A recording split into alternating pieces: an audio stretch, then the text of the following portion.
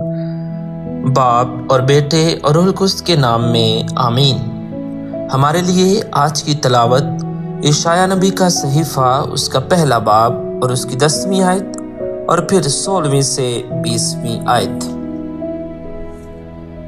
ऐ सदोम के हाकमों खुदावंद का कलाम सुनो। ऐ अमूरा के लोगों, हमारे खुदा की शरीयत पर कान लगाओ। बस नहाओ और पाक हो।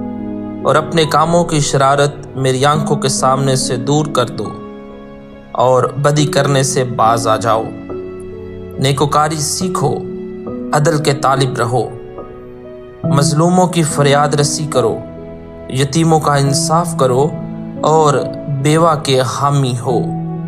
आओ बाहम दलील करें। खुदावंद फरमाता है, और अगरचे तुम्हारे गुनाह किरमिस की मानिंद हों वो बर्फ़ की तरह सफ़ेद हो जाएँगे और अगरचे वो अरगवान की तरह सुर्ख हों तो वो ऊन की मानंद उजले हो जाएँगे। अगर तुम चाहो और तुम सुनो तो तुम ज़मीन की अच्छी चीज़ें खाओगे।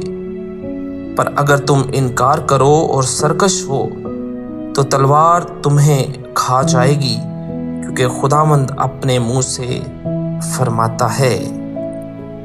पाकलाम के पढ़े और सुने जाने पर खुदा की बरकत हो।